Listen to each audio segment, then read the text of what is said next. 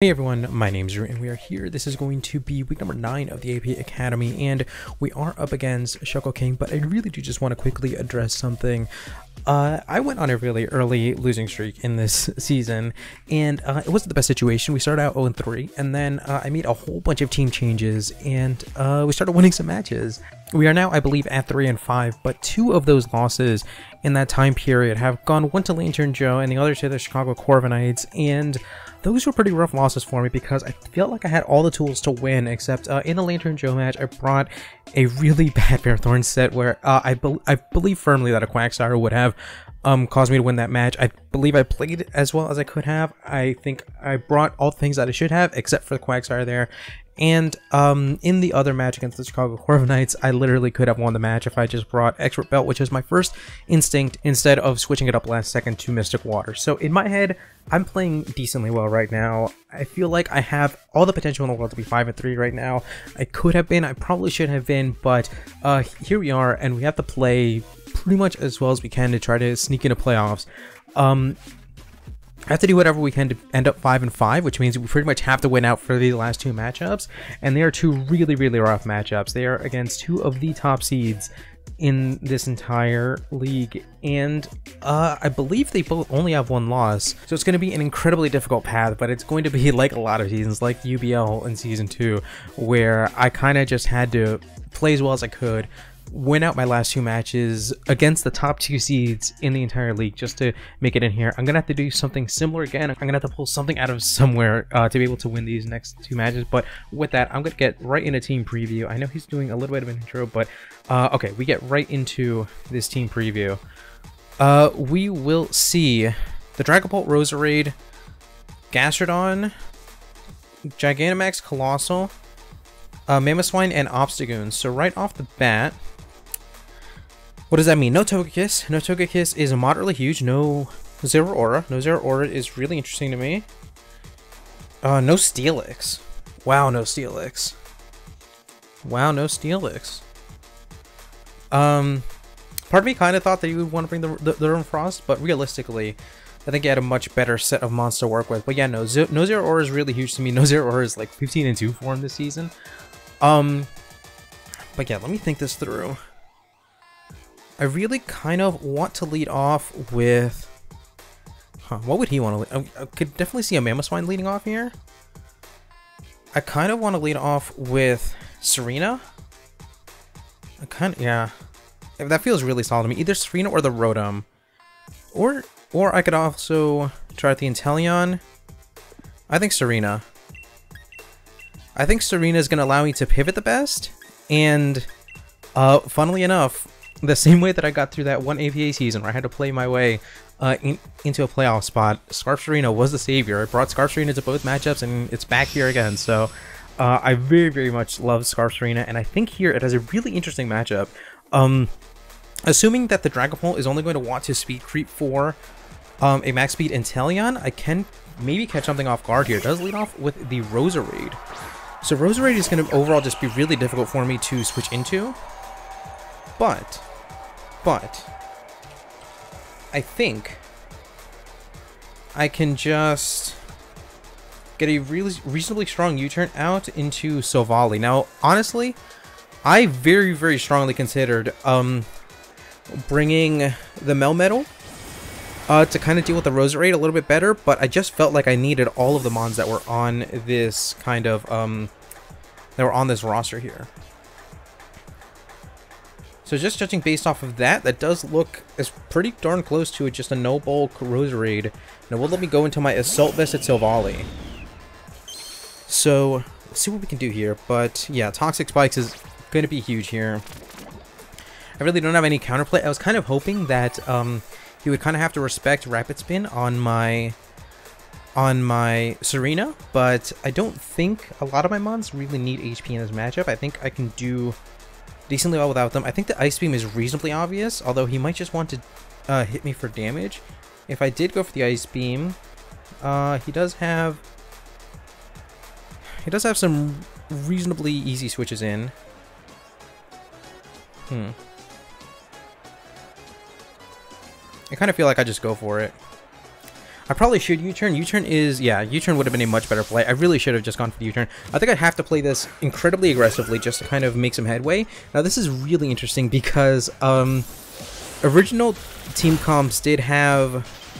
Oh, I do get the freeze. That is pretty wild here. Um, original team comps did have Grass Pledge, but uh, obviously I took that off. I can just U-turn out here and I should take a screenshot of the team as well. I'm going to work on that just for a second here. But, um, hmm. If I can U-turn, if I can U-turn out, it does, I can threaten Serena here. Um, I can also go, go into Mudsdale and start to get some, some rocks going. I have some options here. Although it is gonna suck that he's gonna know that I don't have Grass Pledge on this thing when I really could have had Grass Pledge on this thing. Um, if I had this thing frozen and had Grass Pledge available to me, then that would have been pretty darn huge here. But I will be able to U-turn out. It is Rocky Helmet, which of course, uh, bulky water type Rocky Helmet, of course, with my Melmetal. Um, it's, it's honestly one of the reasons I didn't want to bring my Melmetal um, because this Gastron was so problematic for me. But I don't know how I want to play this. I can go into this and U-turn out again. Roserade is reasonable there. Um, hmm. How, how would I want to play this? Oh, he can he can also scald to thaw himself. So yeah, this is probably the better play. And I think I just have to hit things hard now, right? Uh, it's pretty unfortunate, but I just kind of have to hit things hard. Power up doesn't... If this burns, then my chances of winning... Oh, no, I can't burn. I'm sorry. I forgot that I'm switching into Spike. Sorry about that. Um... Uh,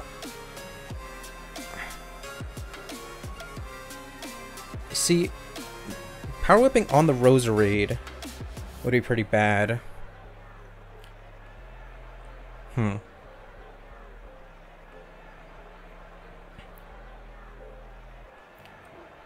He might want to stay in and call and call me out on that. I don't know. This is tough. I really do want to click U-turn, but I don't think he would want to stay in here. I'm gonna I'm gonna try it.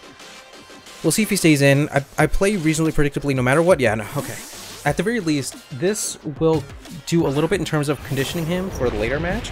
Now, this is still going to do a decent amount of damage, I have to imagine. But I have to switch out here because I am Choice, and even if this was a 2 KO, he can Gigantamax and really um, do quite a bit to me in this situation. So, unfortunately, I will have to eat a Volcalith.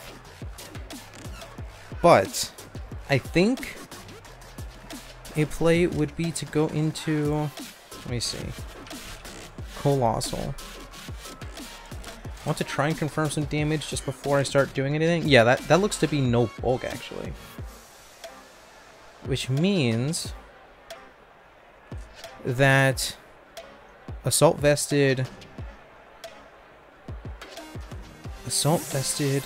Although, if, if I let Silvally take too much damage, then I am making myself really soft to dra to Dragapult, which is unfortunate, but I kind of just have to manage a whole lot. Does withdraw, which is interesting. Goes out into this thing. Now, this is an interesting moment because this is a moment that I quasi-prepared for. So, so I can U-turn out here, right? And I and I outspeed any any adamant um, any adamant Obstagoon, which he doesn't really have any reason to be jolly. Does go for a sub. Interesting, interesting. So, I do get the U-turn off, which will break the sub. I'm almost positive it should break the sub. But, that will allow me... So this is Jolly. This is a Jolly... Um... Guy here which actually means... I don't know, what does it mean? Obstagoon. What type of damage am I doing with Serena? Huh. If I go into Serena... Yeah, okay, let's do this. Let's do it this way. I could high jump kick, which would be um, unfortunate if he goes into the Dragapult, but I think he knows, he should know by now that I'm scarred. So if he goes into the Dragapult, then I can U-turn out on the, on the Dragapult, and if he does stay in, then it looks like U-turn probably isn't a KO, but it looks like it might be a KO after burn damage and um goes for the obstruct. Okay, that's pretty unfortunate, but uh, the funny thing about this is that it, it should shore up a KO with this burn damage. I think. Um, I think this is going to make the calc a lot, a lot more in my favor because of that, because of that burn damage. It's still going to be probably not great for me, but it looks like, it looks like, does withdraw. So, you turn, oh, he probably expects me to high jump kick there as well. He probably expects me to high jump kick there as well. And yeah, he for sure knows that I'm scarfed. That's why I felt really confident going into this thing. And wearing down my Serena because he knows my Serena is my best uh, damage output in this match. So I have to play it reasonably carefully. But I think I go into this thing. If I go into this... If I go into this, then I threaten a Power Whip. And if I threaten a Power Whip, then that draws in the Roserade. So I might just G-Max and, and hit the Darkest Lariat? Maybe. I think that's what I do. I actually don't even know whether or not um, I would KO here. Uh, just a regular Gastrodon. It does seem to be defensive. But if I'm G-Max... It looks like I should KO with a Max Darkness if this thing is... It, well, it, it, does, it has to be not max defensive, but if it... But this thing is probably max defensive. But this is really more so for the incoming Roserade, so I think I have to play it this way. Um, he could, yeah. Maybe he goes for a clear smog, thinking that I'm going to max knuckle. I don't know. I don't know. Regardless, I don't feel the worst making this play. I think I have tools in the back that still make this an okay exchange. Now, we can make this thing drowsy. Um, but the bigger the bigger deal here is that it should shore up this calc, I think. Although, with how defensive that seemed to be, I don't even think that I KO here. I'm gonna... I just have to go for it. I just have to go for the damage here. Does withdraw. Uh, yeah, yeah, this is exactly what I went for this for. If we can KO this thing, that would be absolutely huge. That would be absolutely huge. We do get the KO. We do get the KO. So from here, from here, what does this mean? Honestly, even after G-Max, this is probably my best way. Oh my god, he could go into Gastron again, thinking that he could protect stall me. But that's when I would... Okay, goes into this thing. Um, now, obvious, uh, obvious point, if... If he... Um... If he gets the... I don't know, I don't know. This is tough because if he gets Drowsy, then that would be huge. But I think I'd just take any hit, and then I can switch out on this next turn. I think if anything... Mm, I don't know. I, um, my, my first thought was, I think if anything, I can potentially try and go to Silvally here. And try to surf. But that's probably not the best play in the world. Uh, Max Guard here... No, I don't think that makes sense. Okay, it's okay. I, I think we can manage this. I think we can manage this. Uh, we'll probably go down here, actually. This thing is probably just really, really strong. I don't know how he tends to to to build his his um I was gonna say I don't know how he tends to build these. Maybe these are super offensive, but it doesn't seem to be. So I can definitely save this Grimmsnarl to try and 1v1 the Gastrodon, which could be which could end up being huge. And I think I think what that means he went for Max Strike. Um I can probably what can I go into? I can go into this. I also think Silvally's a moderate, uh, uh, a, a reasonable play here. I do want to just take a quick screenshot. Just for myself. Okay. Okay, but I have to make my play reasonably quickly. Um... I think...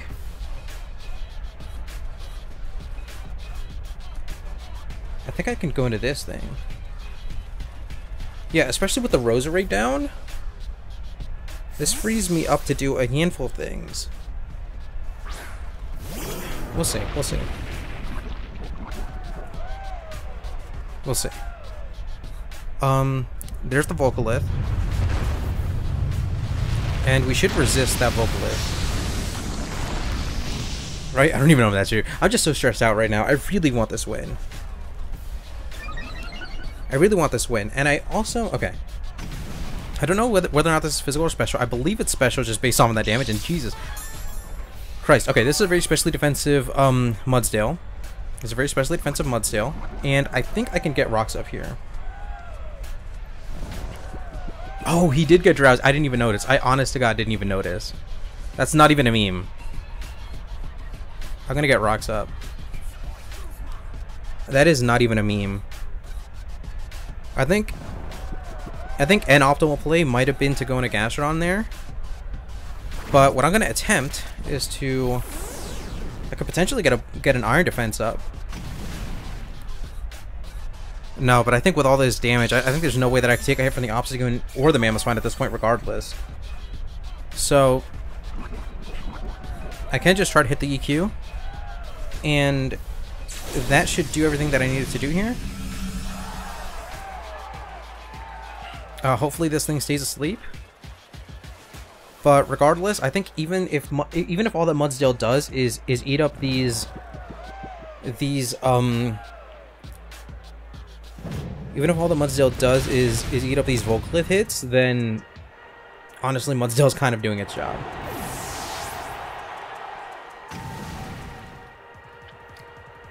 So, what else does this mean for me?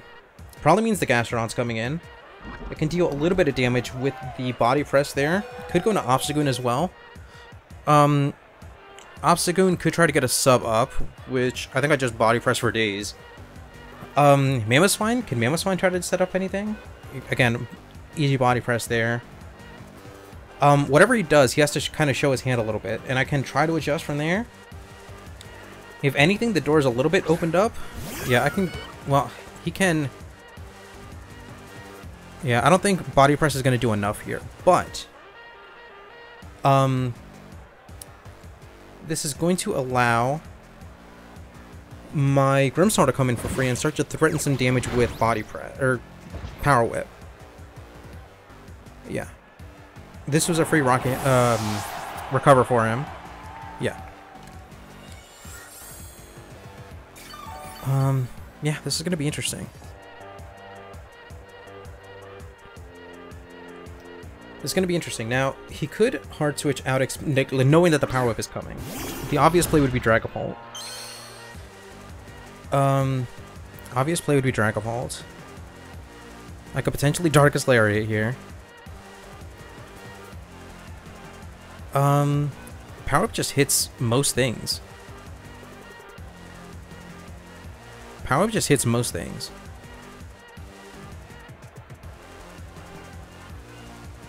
I'm, I'm gonna go for it.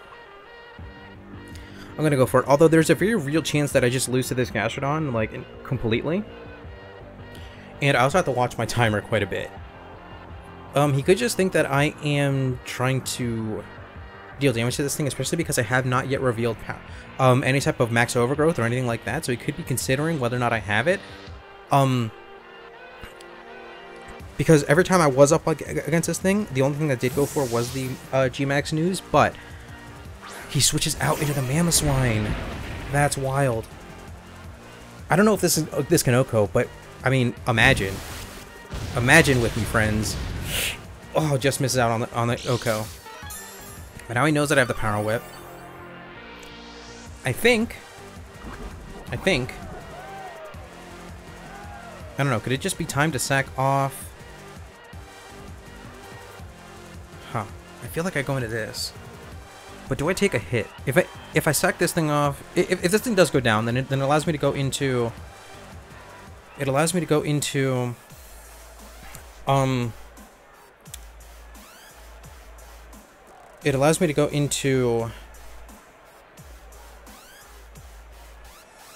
Inteleon. And Inteleon, I don't know what that allows me to do. Inteleon would make it difficult for me. Well, no, honestly, I think I I think I have to go into. Oh man, that's that's pretty rough. That's honestly got pretty rough.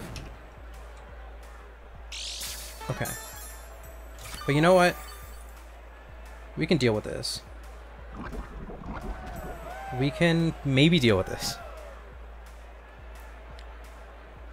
Um... We can... We can just get a surf off here. Uh, it looks like he's out of range of U-turn. Is U-turn is right on the cusp. U-turn is right on the cusp. Oh, we could Shadow Ball just in case the Gastrodon like super aggressively wants to come in here. That just makes overall sense to me. Yeah, okay, that's fine. Um, what else? What else? I mean, the obvious play would be potentially to bring... I don't... He can bring in the Gastrodon. Um... What's Obstagoon would be really problematic. But I think those rocks dealing that much damage to my to my um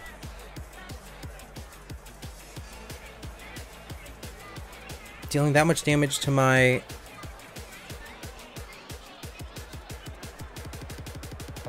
Close for the facade, that's fine the fact that I took so much damage with... What is that thing called? Um, with, with Rotom when it comes in on rocks, that might honestly be the, the difference in this matchup here. Now, the obvious the obvious interesting thing.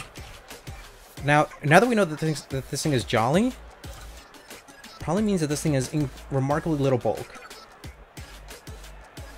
Which actually means I should um, just KO with Scald.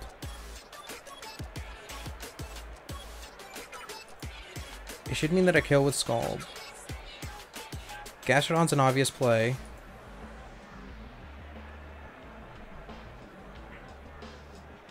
Although,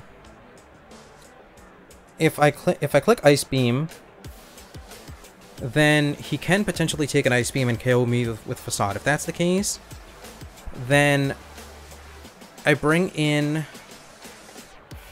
I don't know. I don't know what to do. I just do this. This has to be my best play. Uh, U-turn should always KO no matter what happens. He can obstruct, which would be unfortunate. But, yeah, obstruct actually KOs me. Alright, that was, that was bad. That was just bad. I panicked. I panicked. I panicked. I pretty aggressively panicked. I should have...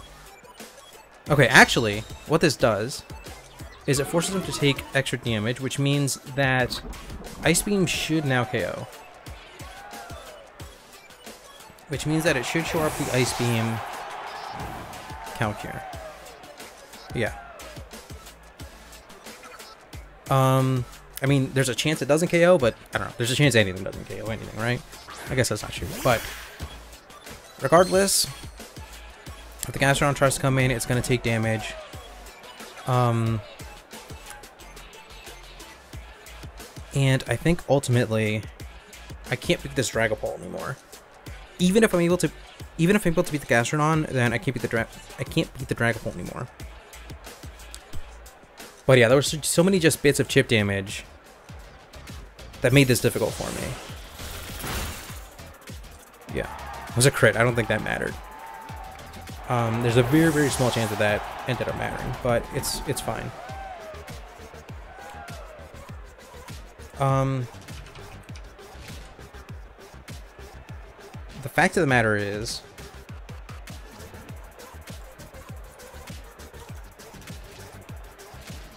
see whatever comes in. Hmm. The fact of the matter is that I, Inteleon potentially takes a hit from Dragapult. Unless he just goes for straight up Draco, and it's a very, very strong Dragapult. But I don't know.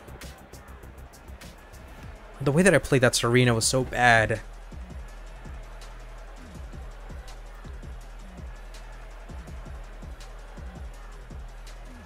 What I should have done, mm, yeah, there's so much that I could have done. It's fine. Now, I potentially take a hit unless this thing is like super duper specs. What if this thing is specs? I think I should take a hit that's not... If this thing just has Shadow Ball. Yes, yeah, Spec Shadow Ball should do it. Spec Shadow Ball should actually do it.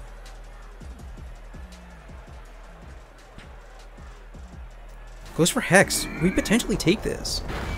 Is it spec? it's it's specs. It's specs Hex. And the fact that everything is. Oh no, the fact that I was poisoned means that I didn't take it. Yeah, it can be whatever item it wants because I was statused. Um. Hmm. This is tough. This is tough. This is tough.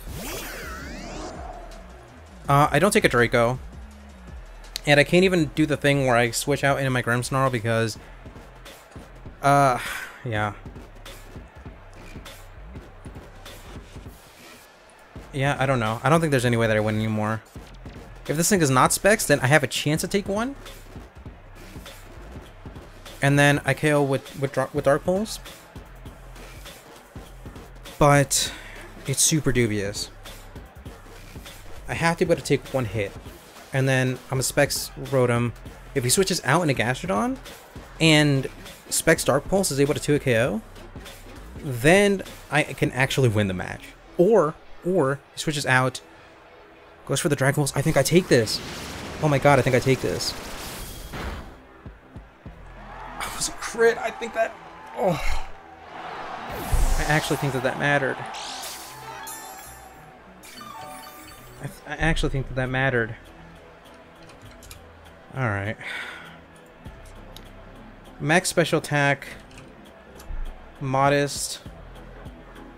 Dragon Pulse. Oh my god, it should max it should max out at like 60%.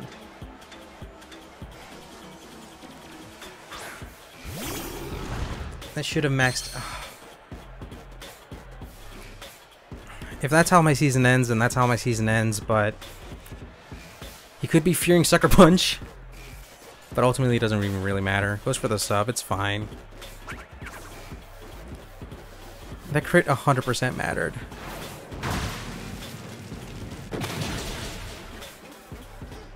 Especially, especially all that all that I needed was chip damage onto the Gastrodon. And of course, I would have needed to to to land a Power Whip, but that 100% mattered. Honestly just want to run. Like, this is not even fun anymore. Oof. Oof. Spicy. Oh, that one, I feel spicy on that one. Oof. That's not even a phrase people use. I'm just, I'm just, I'm just upset. I don't know. I really, yeah, even if it was max defense, bold Gastrodon, power whip, that's like minimum 100%. We know that it's Rocky Helmet. Uh, all I had to do was land, and all I had to do was not get crit, and I think that was the game. That was the whole ass game. I'm moderately speechless. I tried. I think that's gonna... I mean, obviously, I'm gonna try in my final week. I'm gonna try in my final week, but... Um... Actually, I'm also curious. Assuming that, that it's a max defense Gastrodon, what was what was Specs Dark Pulse doing to it as well? Specs Dark Pulse was doing like 40%, so... Uh, I guess it doesn't matter, because he, he wouldn't have had any opportunity to... To, um recover up on me anyway because Power Whip does over 100% minimum, so it doesn't matter, but it mattered. That crit mattered.